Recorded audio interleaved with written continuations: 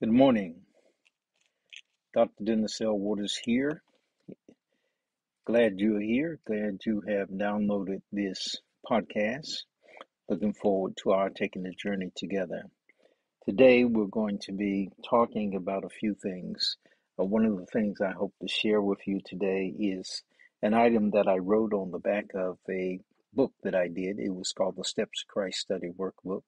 Uh, it's based on a book that had been written by a uh, person that I admire a great deal. Uh, I was within a particular denomination, the Seventh Day Adventist Church, a worldwide church. Um, the one of the founders of that church was a woman named uh, Ellen G. White. Uh, there's a statement in one of her books, I believe it is The Ministry of Healing, the particular copy that I had.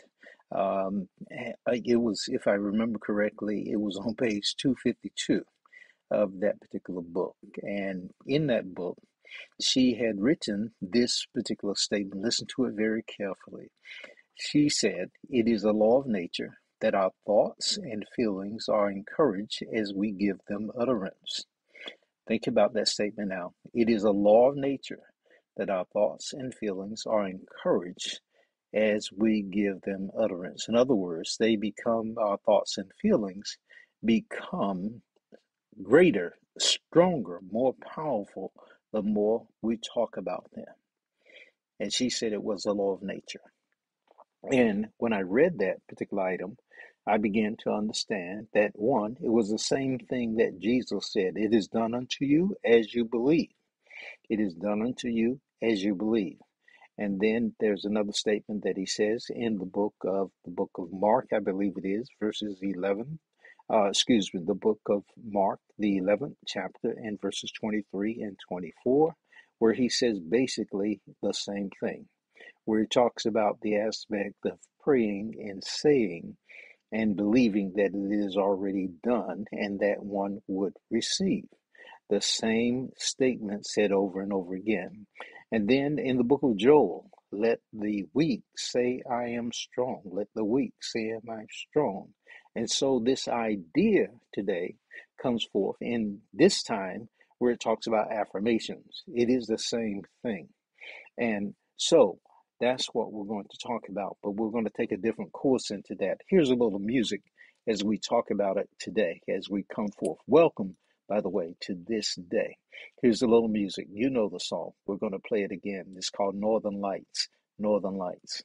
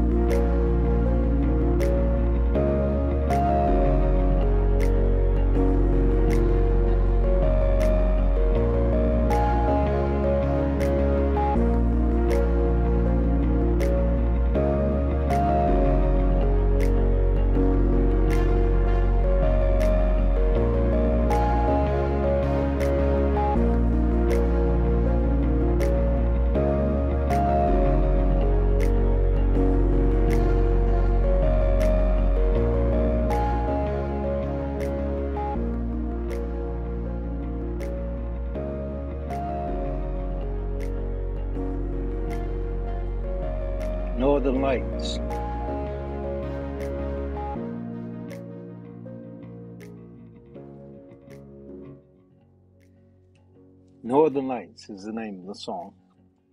I mentioned that I had written this book. It's still on Amazon, it's still for sale. We're going to do a study of that where we're going to be talking about this particular book, uh, the Steps Christ Study Workbook. It has the intent that an individual would be able to actually study along with a group of individuals. And no matter who you are, when you're studying along with a group of individuals, what takes place is that you write out your answers to the individual questions. And then in the group, you get a chance to say what it is that you, as you have interacted with the book, prayerfully interacted with the book, you get to speak your particular statement about what you and Spirit have brought forth as the answer to that. And so you get to say what you understand to be the truth of that particular statement, uh, that particular statement that you have written. And so that's what's we're taking. That's what's taking place. We've done this a number of times uh, with individuals, and it is amazing when people get together and they are able to actually state what they believe, what they have received from Spirit, because you just never know what Spirit may be doing with an individual, their particular circumstances in life and how spirit would be speaking uh, in the most unusual people it seems. Uh, god has a way of showing up and speaking to people and he does that to every individual. Uh, god is you know will speak through any available channel that is uh, you know just open to receiving the word of god here's what we wrote on the back of the of the uh, Steps to Christ study workbook. Uh, the original one, the first one. Uh, we've had about three different cop- uh, covers for this particular book since its coming forth in 1997. It says, From the center, in the center, in the center of life, in the center of the life, live from the center. The oak is in the acorn, the tree is in the seed. The better country, the better community, the better spiritual family, church, synagogue, mosque, and people is within you. The kingdom of God is within you.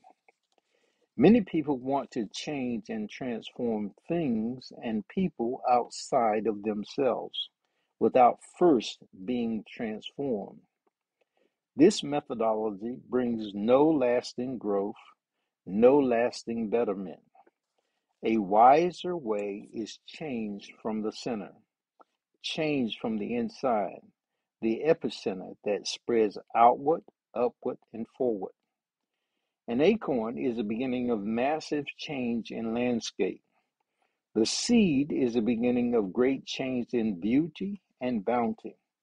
You are the beginning of tremendous change in community, family, church, synagogue, mosque, and people. The book Steps to Christ is about changing the land by changing the man, or woman, boy, girl.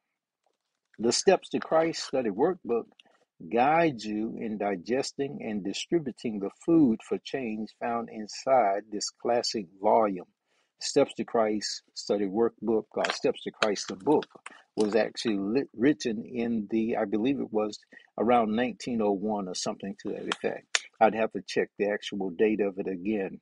But the steps, that's why I called it a classic volume. So let me get back. This Steps to Christ study workbook guides you in digesting and distributing the food for change found inside this classic volume. By stimulating new thoughts and opening up for investigation old ideas, you are planting the acorn of truth in the midst of the people landscape of this world. The seed idea of acknowledging one's need of help. The seed idea of repentance, which means change. The seed idea of trust. The seed idea of life first and growth to follow. Planted in the center of your being ensures massive, great, tremendous change, growth, and development. So, my friend, a better world is within you. And in your hands is the key, the passport, the seed, the acorn, the beginning you need to get us all there. From the center, in the center, in the center of the life, live from the center. From the center, in the center, in the center of the life, live from the center. So I wrote that. Spirit inspired it, me to write that. Now, the amazing thing about it is that I had not read another author that I've come to love a great deal. That author is a fellow named Emerson, Ralph Waldo Emerson. He has an article that I want to read now. His article, his essay, is entitled Circles, and it's very much in line with what I wrote. And I may have done this before, you may have heard me do this before, but at this particular moment in 2022, which is this year, I feel very much inspired to do it again. Circles by Ralph Waldo Emerson. Nature centers into balls, B A L L S, and are proud ephemerals, fast to surface and outside. Scanned the profile of the sphere. Knew they what that signified? A new Genesis were here. That's his poem that he has before the article. The eye is a first circle. The horizon which it forms is a second. And throughout nature, this primary figure is repeated without end. It is the highest emblem in the cipher, cipher of the world. St. Augustine described the nature of God as a circle whose center was everywhere and its circumference nowhere. We are all our lifetime reading the copious sense of this first of forms. Our moral we have already deduced in considering the circular or compensatory character of every human action. Another analogy we shall now trace that every action admits of being outdone. Our life is an apprenticeship to the truth that around every circle another can be drawn, that there is no end in nature, but every end is a beginning, that there is always another dawn risen on mid noon, and under every deep a lower deep opens. This fact, as far as it symbolizes the moral fact of the unattainable, the flying perfect, around which the hand of man can never meet, at once the inspirer and the condemner of every success, may conveniently serve us to connect many illustrations of human power in every department. There are no fixtures in nature. The universe is fluid and volatile. Permanence is but a word of degrees. Our globe, seen by God, is a transparent law, not a mass of facts. The law dissolves the fact and holds it fluid. Our culture is the predominance of an idea which draws after it this train of cities and institutions. Let us rise into another idea. They will disappear. The Greek sculpture is all melted away, as if it had been statues of ice, here and there a solitary figure or a fragment remaining, as we see flecks and scraps of snow left in cold dells and mountain clefts in June and July. For the genius that created it creates now something else. The Greek letters last a little longer, but are already passing under the same sentence and tumbling into the inevitable pit which the creation of new thought opens for all that is old. The new continents are built out of the ruins of an old planet. The new races fed out of the decomposition of the foregoing. New arts destroy the old. See the investment of capital in aqueducts made useless by hydraulics, fortifications, by gunpowder, roads and canals, by railways, sails, by steam, steam by electricity. You admire the tower of granite, weathering the hurts of so many ages. Yet a little wavering hand built this huge wall, and that which builds is better than that which is built. The hand that built can topple it down much faster. Better than the hand and nimbler was the invisible thought which walked through it. And thus ever, behind the coarse effect is a finer cause, which, being narrowly seen, is itself the effect of a finer cause. Everything looks permanent until its secret is known. A rich estate appears to women a firm and lasting fact. To a merchant, one easily created out of any material and easily lost. In an orchard, good tillage, good ground seems a fixture, like a gold mine or a river to a citizen, but to a large farmer, not much more fixed than the state of the crop.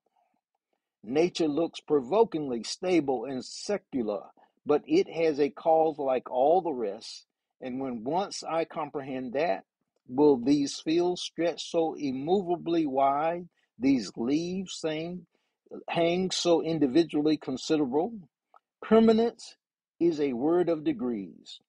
Everything is medial. Moons are no more bounds to spiritual power than bat balls. The key to every man is his thought. Sturdy and defying though he look, he has a helm, H E L M, he has a helm which he obeys, which is the idea after which all his facts are classified. He can only be reformed by showing him a new idea which commands his own. The life of a man is a self evolving circle, which, from a ring imperceptibly small, rushes on all sides outward to a new and larger circle, and that without end. The extent to which this generation of circles, wheels without wheels, will go depends on the force or truth of the individual soul. For it is the inert effort of each thought, having formed itself into a circular wave of circumstance, as for instance, an empire, rules of an art, a logical usage, a religious rite, to heap itself on that ridge and to solidify and hem in the life. But if the soul is quick and strong, it bursts over that boundary on all sides and expands another orbit on the great deep, which also runs up into a high wave, will uh, with attempt again to stop and to bind. But the heart refuses to be imprisoned. In its first and narrowest pulses, it already tends outward with a vast force into immense and innumerable expansions. Every ultimate fact is only the first of a new series. Every general law, only a particular fact of some more general law presently to disclose itself. There's no outside, no enclosing wall, no circumference to us. The man finishes his story. How good, how final, how it puts a new face on all things. He feels the sky. Lo, on the other side rises also a man and draws a circle around the circle we had just pronounced the outline of the spear. Then already is our first speaker not man, but only a first speaker. His only redress is forthwith to draw a circle outside of his antagonist. And so men do by themselves. The result of today, which haunts the mind and cannot be escaped, will presently be abridged into a word, and the principle that seemed to explain nature will itself be included as one example of a bolder generalization. In the thought of tomorrow, there is a power to upheave all thy creed, all the creeds, all the literature of the nations, and marshal thee to a heaven which no epic dream has yet depicted. Every man is not so much a workman in the world as he is a suggestion of that he should be. Men walk as prophecies of the next age. Step by step, we scale this mysterious ladder. The steps are actions. The new prospect is power. Every several result is threatened and judged by that which follows. Everyone seems to be contradicted by the new. It is only limited by the new. The new statement is always hated by the old, and to those dwelling in the old comes like an abyss of skepticism. But the eye soon gets wonted to it, for the eye and it are effects of one cause. Then its imminence and benefit appear, and presently, all its energy spent, it pales and dwindles before the revelation of the new hour. Fear not the new generalization. Does the fact look crash and material, threatening to degrade thy theory of spirit? Resist it not. It goes to refine and raise thy theory of matter just as much. There are no fixtures to men if we appeal to consciousness. Every man supposes himself not to be fully understood. And if there is any truth in him, if he rests at last on the divine soul, I see with him, I see not how it can be otherwise. The last chamber, the last closet he must feel was never open. There's always a, resid- a residium, unknown, unanalyzable. Let me do that once more. Let me just go back. Every man supposes himself not to be fully understood. And if there is any truth in him, if he rests at last on the divine soul, I see not how it can be otherwise. The last chamber, the last closet he must feel was never open. There's always a residuum unknown, unanalyzable.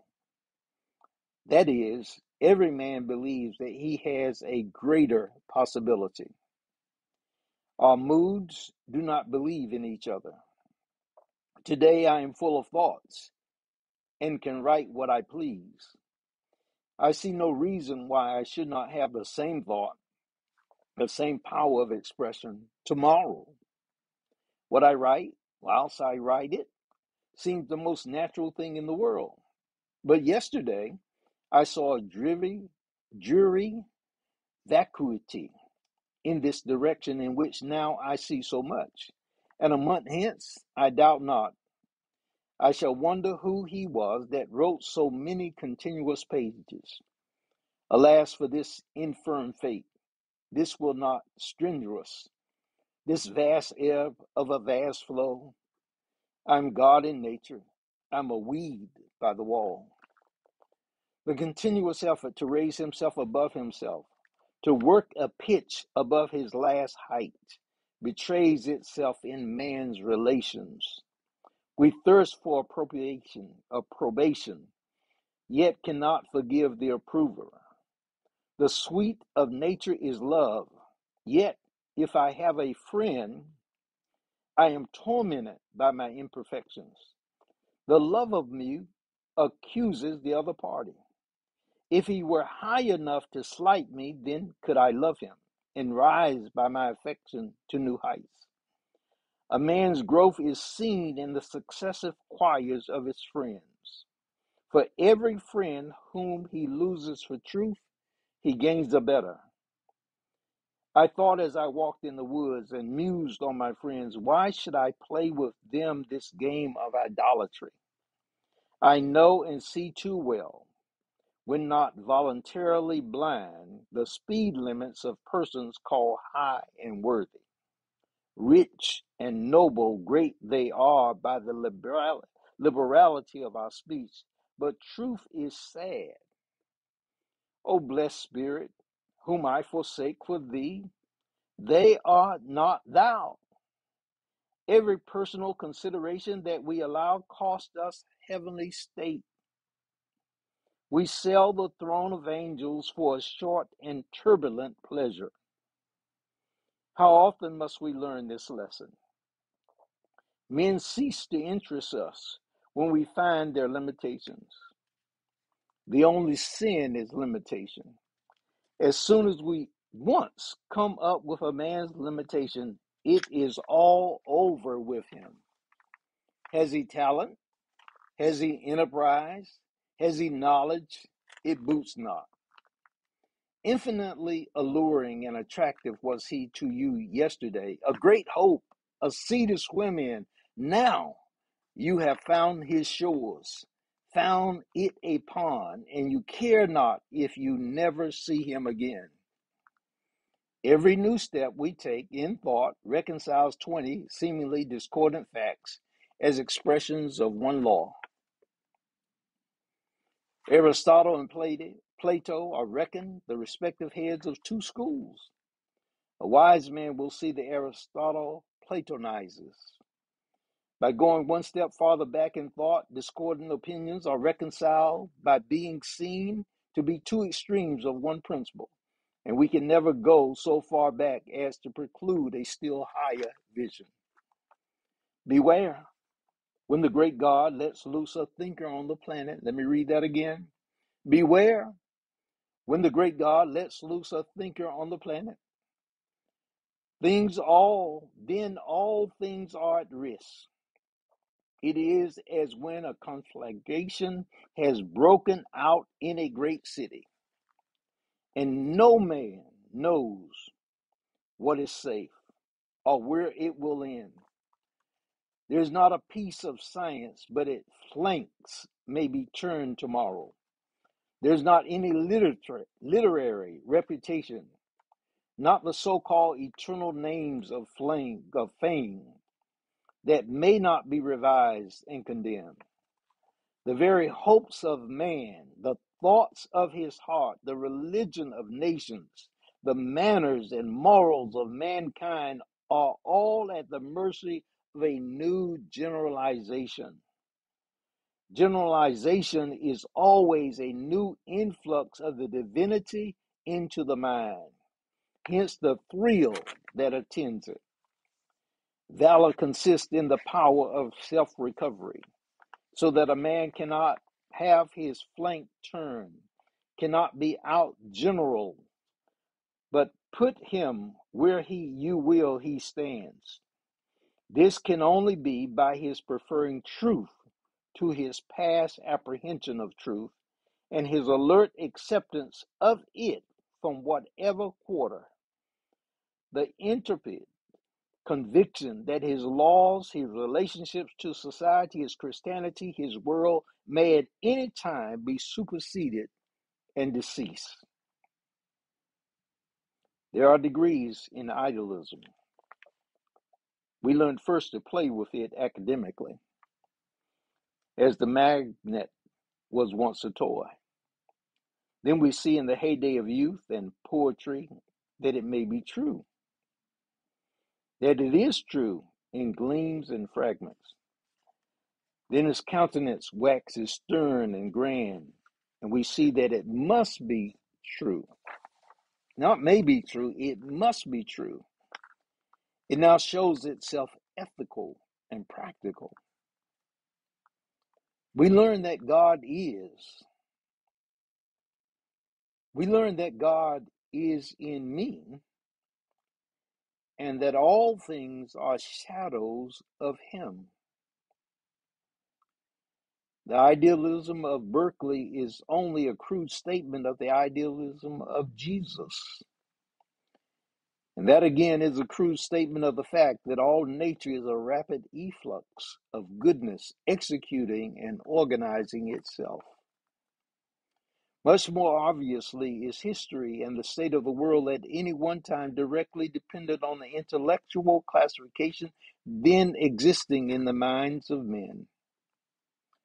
The things which are clear and dear to men at this hour are so on account of the ideas which have emerged on their mental horizon, and which cause the present order of things as a tree bears its apples.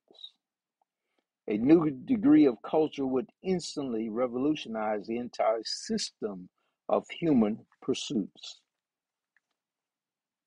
Conversation is a game of circles. In conversation, we pluck up the termini, which bound the common of silence on every side. The parties are not to be judged by the spirit they partake and even express under this Pentecost. Tomorrow they will receive from this high water mark. Tomorrow you will find them stooping under the old pack saddles. Yet let them enjoy the cloven fame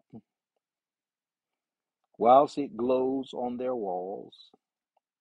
When each new speaker strikes a new light, emancipates us from the oppression of the last speaker, to oppress us with the greatness and exclusiveness of his own thought, then yields us to another Redeemer. We seem to recover our rights to become men. Oh, what truths profound and executable only in ages and orbs are supposed in the announcement of every truth. In common hours, society sits cold and statuous.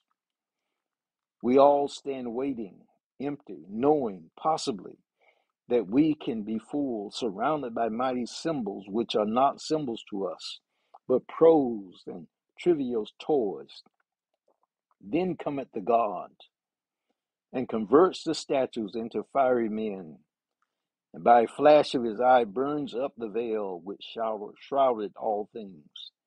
And the meaning of the very furniture, of cup and saucer, of chair and clock, and tester is manifest. The facts which loom so large in the fog of yesterday, property, climate, breeding, personal beauty, and the like, has strangely changed their proportions.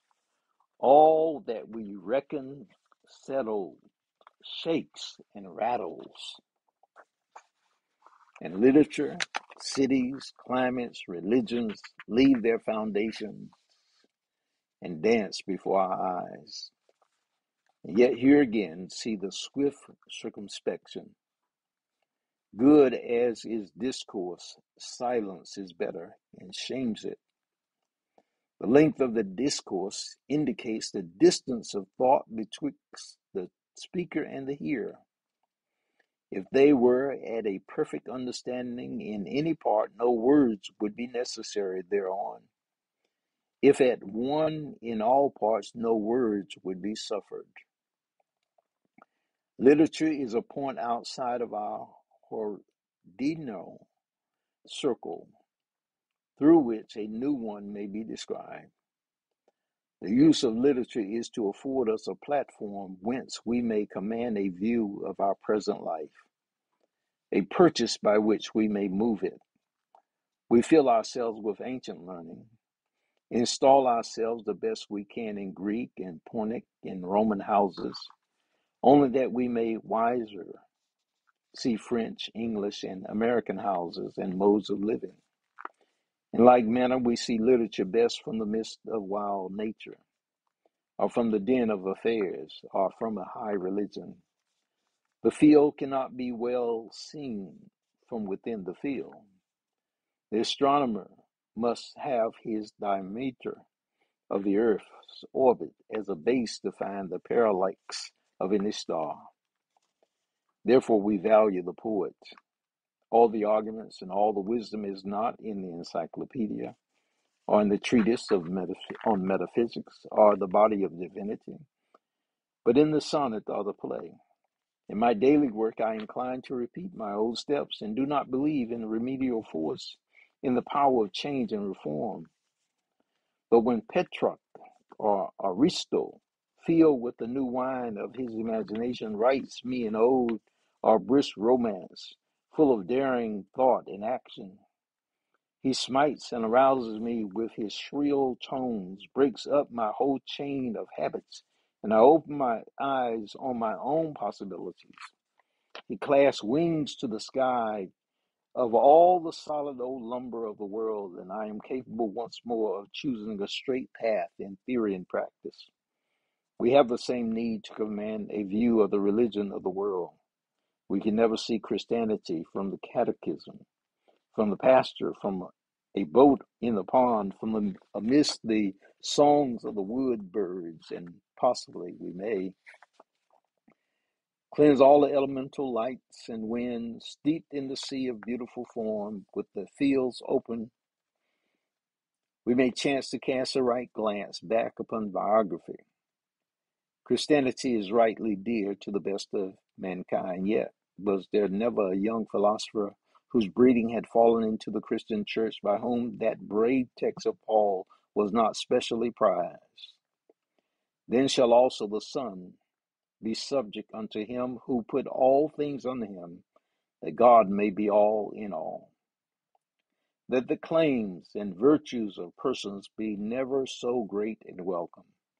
The instinct, the instinct of man presses eagerly onward to the impersonal and illimitable, great and welcome, and gladly arms itself against the dogmatism of bigots with this generous word out of the book.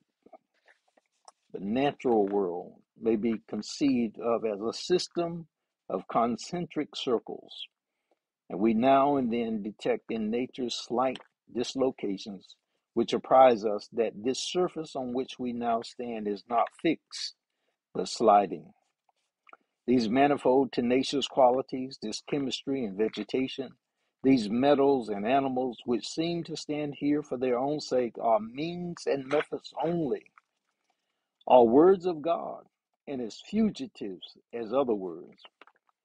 Has the naturalist or chemist learned his craft? Who has explored the gravity of atoms and the electric affinities? Who has not yet discerned the deeper laws whereof this is only a partial or approximate statement, namely that like draws to like, and that the goods which belong to you gravitate to you, and need not be pursued with pain and cost? Yet is that statement approximate also and not final. Omnipresence is a higher fact, not through subtle subterranean channels need friend and fact be drawn to their counterpart, but rightly considered, these things proceed from the eternal generation of the soul.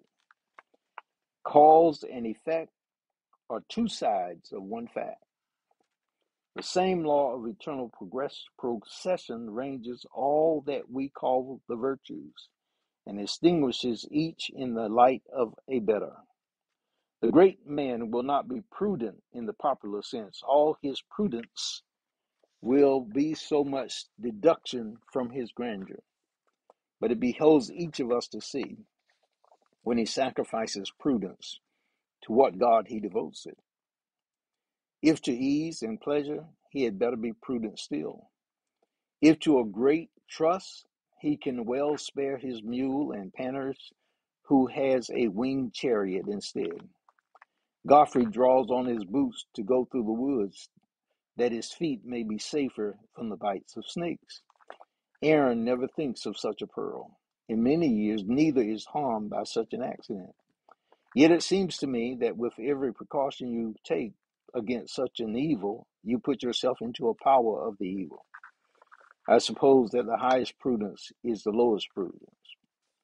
If this too sudden a rushing from the center to the verge of our orbit, think how many times we shall fall back into the pitiful calculations before we take up our rest in the great sentiment, or make the verge of today the new center. Besides, your bravest sentiment is familiar to the humblest men. The poor and low have their way of expressing the last facts of philosophy as well as you. Blessed be nothing, and the worse things are, the better they are, are proverbs which express the transcendentalism, transcendentalism, transcendentalism of common life. One man's justice is another man's injustice. One man's beauty, another's ugliness. One man's wisdom, another's folly. As one beholds the same objects from a higher point. One man thinks justice consists in paying debts and has no measure in his abhorrence of another who is very remiss in his duty and makes the creditor wait tediously. But that second man has his own way of looking at things, asked himself, which debt must I pay first? The debt to the rich or the debt to the poor? The debt of money or the debt of thought of, to mankind, of genius, of, to nature? For you, broker, O broker, there is no other principle but arithmetic. For me, commerce is a trivial import. Love, faith, truth of character, aspiration of man, they are sacred. Nor can I detach one duty, like you, from all other duties and concentrate my forces mechanically on the payment of monies. Let me live onward. You shall find that, though slower, the progress of my character will liquidate all these debts without injustice to higher claims. If a man should dedicate himself to the payment of notes, would not this be injustice? Does he owe no debt but money? And are all claims on him to be postponed to a landlord or a banker? There's no virtue which is final, all are initial. The virtues of society are vices to the saint. The terror of reform is the discovery that we must cast away our virtues, or what we have always esteemed such, into the same pit that has consumed our grosser vices. Forgive his crimes, forgive his virtues too. Those smaller faults have converts to the right. It is the highest power of divine moments that they abolish our contritions also. I accuse myself of sloth and unprofitableness day by day. But when these waves of God flow into me, I no longer reckon lost time. I no longer poorly compute my possible achievements by what remains to me of the month or the year. For these moments confer a sort of uh, omnipresence and omnipotency which asks nothing of duration, but sees that the energy of the mind is commiserate with the work to be done without time. And thus, O circular philosopher, I hear some reader exclaim, You have arrived at a fine Pyrrhonism, at an equivalence and indifference of all actions, and would fain teach us that if we are true, forsooth, our crimes may be lively stones out of which we shall construct the temple of the true God. I am not careful to justify myself. I own I am gladdened by seeing the predominance of the saccharine principle throughout the vegetable nature, and not less by beholding in morals that unrestrained inundation of the principle of good into every chink and hole that selfishness has left open, yea, into the selfishness and sin itself, so that no evil is pure, no hell itself without its extreme satisfactions. But lest I should mislead any when I have my own head and obey my whims, let me remind the reader that I am only an experimenter. Do not set the least value on what I do, or the least discredit on what I do not, as if I pretend to settle anything as true or false. I unsettle all things. No facts to me are sacred, none are profane. I simply experiment, an endless seeker with no past at my back. Yet this incessant movement and progression with all things partake, which all things partake, could never become sensible to us but by contrast to some principle of fixture or stability in the soul. While the internal whilst the internal generation of circles proceed, the external generation Whilst the eternal generation of circles proceeds, the ex the eternal generator abides. That central life is somewhat superior to creation, superior to knowledge and thought, contains all its circles Forever it labors, labors to create a life and thought as large and excellent as itself, but in vain. For that which is made instructs how to make a better. Let me read that all over again. This is vital. The, what he, what he what I just read is vital. I don't know that I had read it exactly like that before.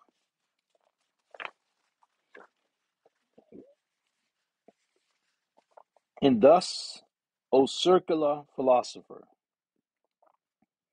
I hear some reader exclaim, You have arrived at a fine fire, pyronism. I think that means like something that's in fire, like what you have arrived at after all of that is that something that could be burned up and it turns to ashes. At an equivalency and indifference of all actions, and would fain teach us that if we are true, forthwith our crimes may be lively stones out of which we shall construct the temple of the true God. And then Emerson says, I am not careful to justify myself. I own OWN I am gladdened by seeing the predominance of the saccharine principle throughout vegetable nature. So, that basically nature is like something that is in a fire and is gone. It has no lasting value to it, like a tree or anything in nature. You know, it has its seasons that is here for a while and then the tree is bare. and not least by beholding in morals that unrestrained inundation of the principle of good into every chink and hole that selfishness has left open, yea, into selfishness and sin itself, so that evil is pure, nor hell itself without its approbations, I believe he said. In other words, there is some good even in what happens. It has that you may consider bad, or the statement says all things work together for good for those who love God. But then he says, But lest I should mislead any when I have my own head and obey my whims. So he says, I may be found to do something wrong. Let me remind the reader that I am only an experimenter. Do not set the least value on what I do. In other words, don't follow me in the things that I do. Don't set me as an example for what I do. Let me remind the reader that I am only an experimenter. Do not set the least value on what I do, or the least discredit what I do not do. If I don't do it, don't take that as an example of what not to do. As if I pretend to settle anything as true or false. I unsettle all things. In other words, questions all things. He examines all things. It's his life to decide what he will or will not do. No facts are sacred to me. He examines everything. It's his life. None are profane. Just because somebody else says that something is truth or something is a lie is not a fact to him, or even what history has said. He says, I simply experiment. I'm an endless seeker with no past at my back. He's like a fresh living of this thing called life. Yet this incessant or continuous movement and progression, which all things partake, could never become sensible to us, but by contrast to some principle of fixture or stability in the soul. So there has to be an anchor There has to be some foundation, something fixed. So that's what he's looking for. And says, whilst the eternal, whilst the eternal generation of circles proceeds. So from the from the center, there's a center. The generation of circles keeps taking place. It gets wider and wider and wider. He says the eternal generator abides. So if you say the point is right there in the center. There's a point, but the circles keeps widening, widening. Then he says that center circle or that center point is eternal. The circles keep widening, and the that's the eternal generation of circles that keeps going but so is that center. That keeps abiding as well. And that's what he's talking about. This that center life is somewhat superior to the creation superior to knowledge and thought and contains all its circles. So that center contains all the circles no matter how wide they get. This this is why i had to do that over. That's powerful. Forever it labels, labors, L A B O R S, to create a life and thought as large and excellent as itself, but in vain. For that which is made instructs how to make a better. For that which is made instructs how to make a better. Thus there is no sleep no pause, no preservation, but all things renew, germinate in spring. Why should we import rags and relics into the new hour? Nature abhors, abhors the old, and old age seems the only disease. All others run into this one. We call it by many names fever, intemperance, insanity, stupidity, and crime. They're all forms of old age. They are rest, conservate, conservatism, appropriation, inertia, not newness, not the way onward. We giggle every day. I see no need of it. While we converse with what is above us, we do not grow old, but grow young. Infancy, youth, receptive, receptive, aspiring, with religious eye looking upward, count itself nothing and abandons itself to the instruction flowing from all sides. But the man and woman of seventy assumes to know all. They have outlived their hope. They renounce aspiration, accept the actual for the necessary, and talk down to the young. Let them then become organs of the Holy Ghost. Let them be lovers.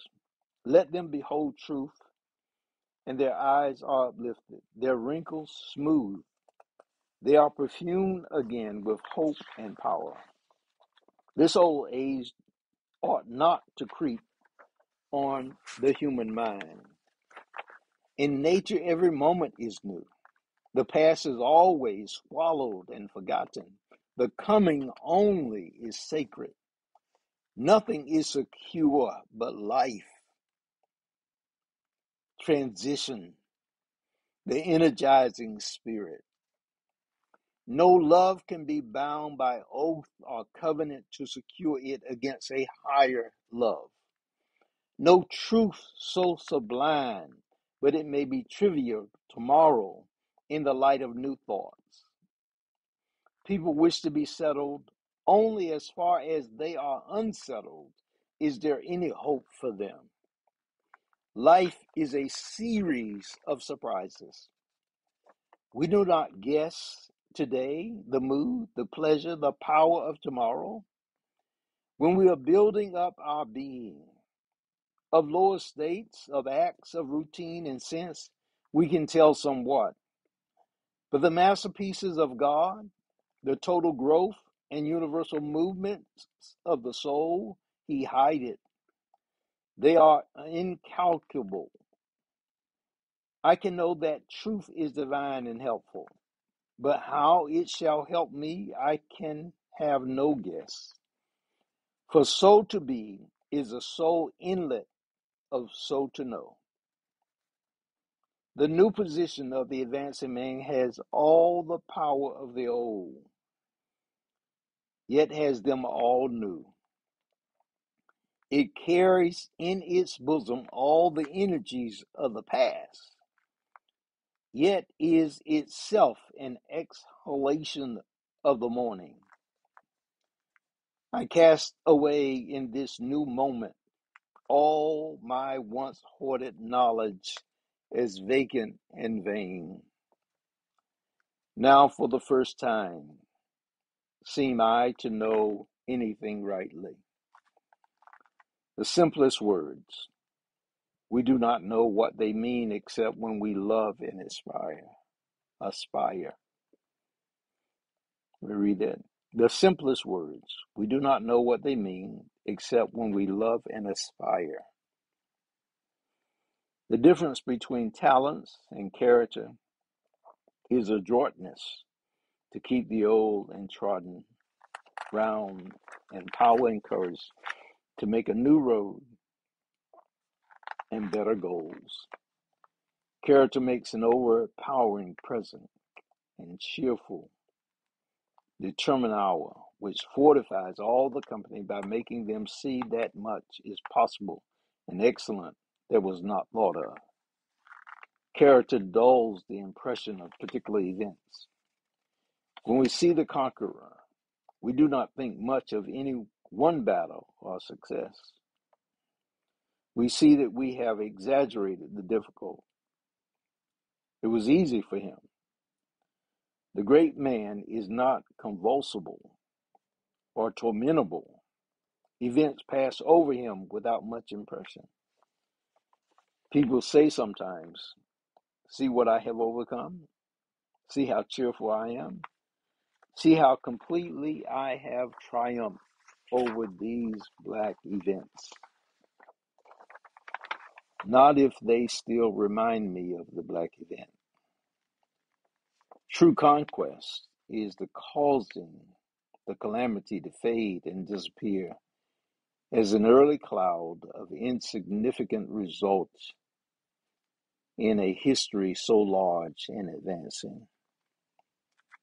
The one thing which we seek with insatiable desire is to forget ourselves, to be surprised out of our propriety, to lose our sempiternal memory, and to do something without knowing how or why, in short, to draw a new circle. Nothing great was ever achieved without enthusiasm. The way of life is wonderful. It is by abandonment. The great moments of history are the faculties of performance through the strength of ideas, as the works of genius and religion. A man, said Oliver Cromwell, never rises so high as when he knows not whither he is going.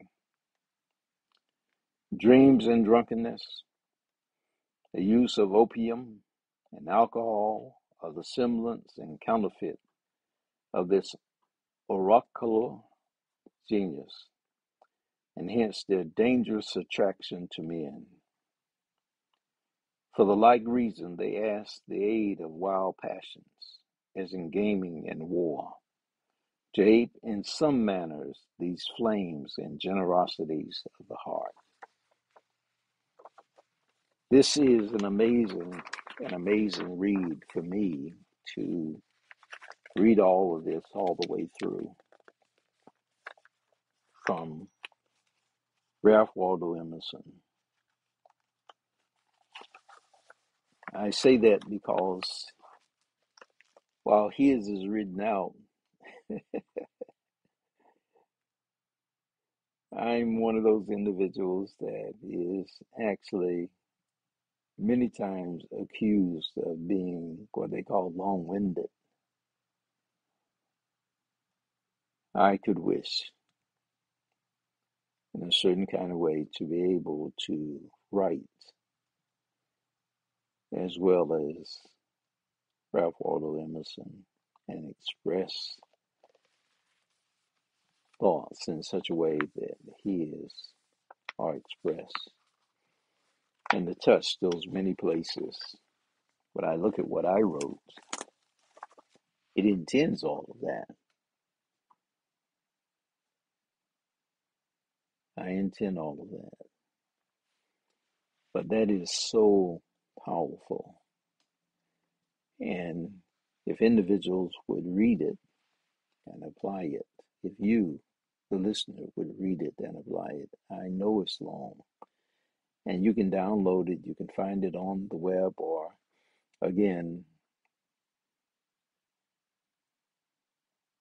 it's just so powerful. So many of the items from Ralph Waldo Emerson are so powerful.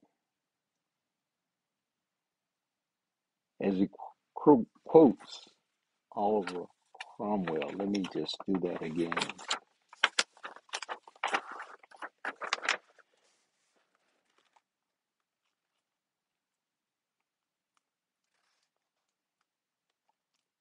Let me begin at this, this one page, one paragraph really. The one thing which we seek with insatiable desire is to forget ourselves, to be surprised out of our propriety, to lose our sempiternal memory, and to do something without knowing how or why. In short, to draw a new circle. Nothing great was ever achieved without enthusiasm. The way of life is wonderful. It is by abandonment, abandonment, giving yourself totally to something, completely to something, or to someone. The great moments of history are the faculties, facilities, really. Great moments of history are the facilities of performance through the strength of ideas as the works of genius and religion. A man, said Oliver Cromwell, never rises so high as when he knows not whither he is going. Dreams and drunkenness. Remember what he just said. Dreams and drunkenness. The use of opioid and alcohol are the semblance and counterfeits of this oracular, oracular genius. So some people, in order to get to the place of abandonment and self-forgetfulness, they do the opium and the alcohol.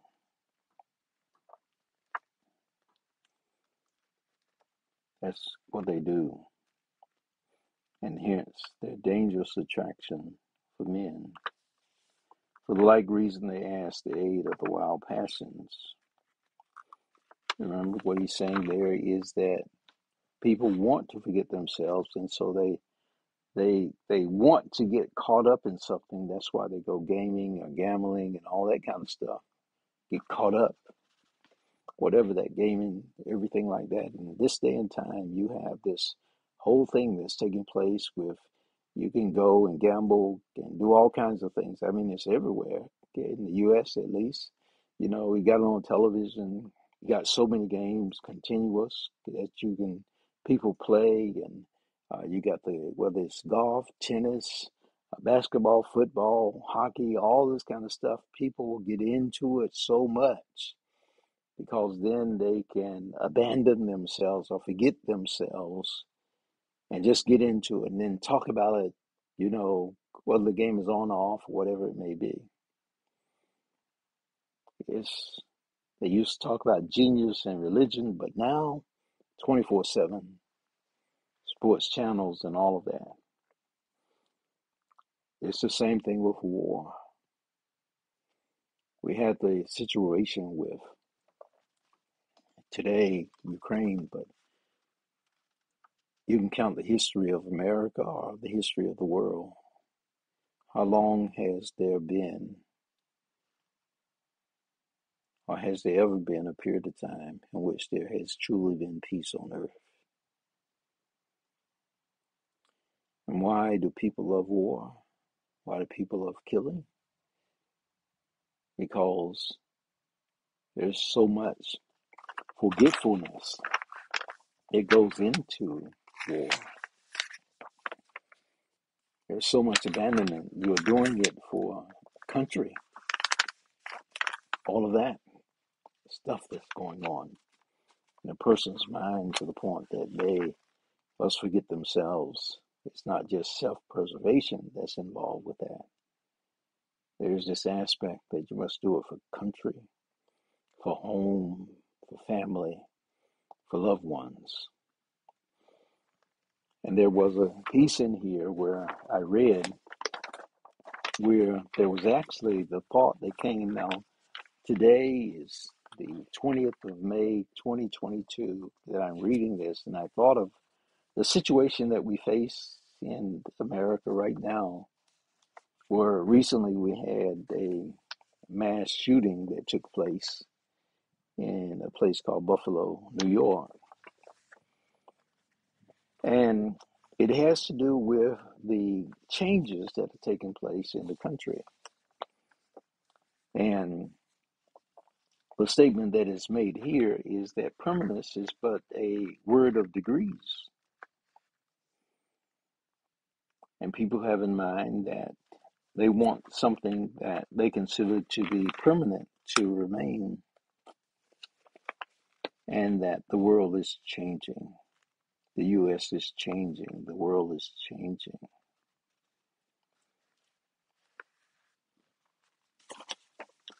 I mean, every civilization, if you want to call it that, has had to face change. I find it amazing. I just find it amazing that these things are so, that they're so. When I grew up, I had this experience really of little TV that we were able to watch. And on it, there were things that, you know, I guess for entertainment or whatever, but it was amazing because we didn't know, like so many times people don't know, the difference between what is true and what is fantasy. And so there was this fellow called Tarzan who was just a wonderful fellow running through what we were told were the the jungles of Africa. He could talk to the animals, command the people who were native to Africa. The people who were native that we were shown were black, of course. And he seemed amazingly smart, could solve all of their problems. But he just happened to be white, Caucasian. He was their savior.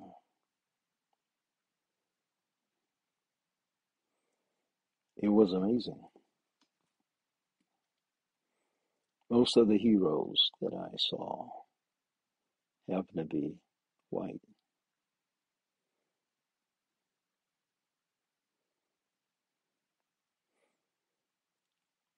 I was a bit older when I finally went to Africa.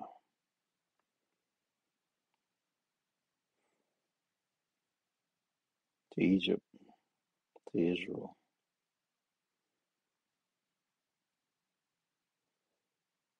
Still older when I went to Kenya.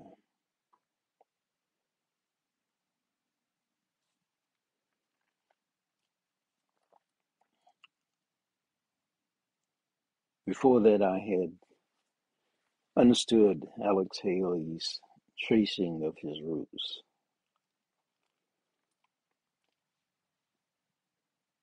And then I did my own. I recognized when I traced my own roots that they go to both, as I tell people, England and to Africa. I am America.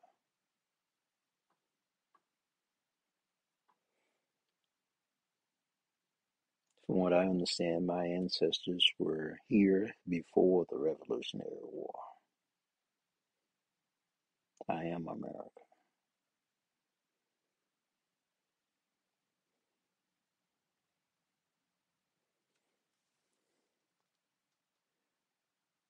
Remember that each circle moves from the center. When one circle is drawn, and there's another one drawn on the outside of the circumference of the last circle drawn.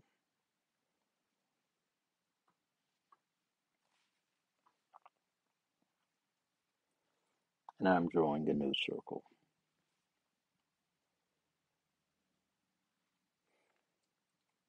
We have nothing to fear about the future. Nothing. Let America, this new country, this new country, this new type of civilization, become what it was destined to be.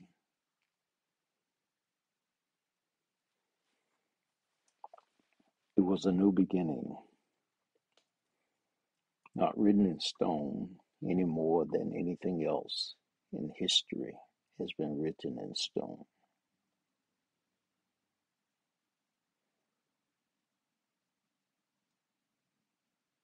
The Egyptians built pyramids. The Chinese Egyptians appear to be one of the first civilizations, if not the first civilization. No matter what is said, they appear to be preceded by the Ethiopians. No matter what is said, no matter what is denied,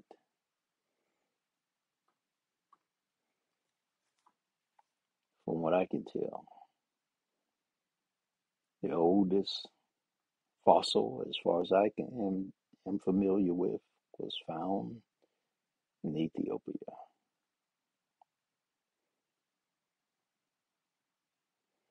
Human fossil.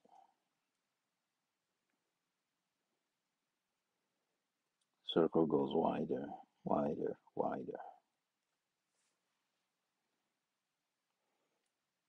Pyramids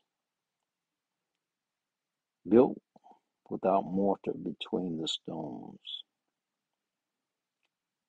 Architectural wonder.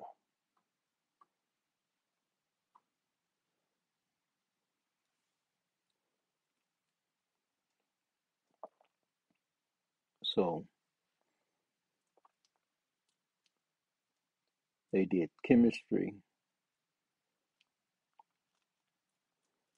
medical science, mathematics, all these things that we find wonderful now. All of that. It is said that Plato himself went to Egypt to learn from the Egyptian priests, and that he stayed there for 13 years and then developed his own school, whether it's history or whether it's fable. If you can prove that, wonderful. We know Abraham, according to the Bible itself, went into Egypt. That's already written. The Bible itself says that some of the things that are written in it are allegories. Says that in the New Testament. I guess history itself is a story told.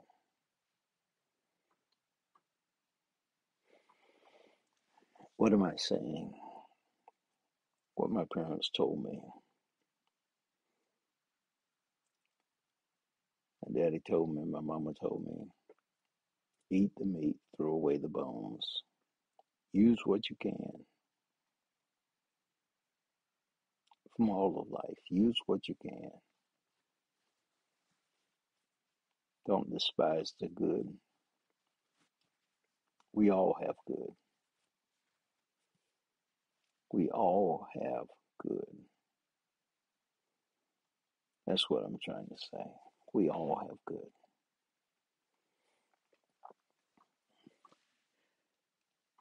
Namaste.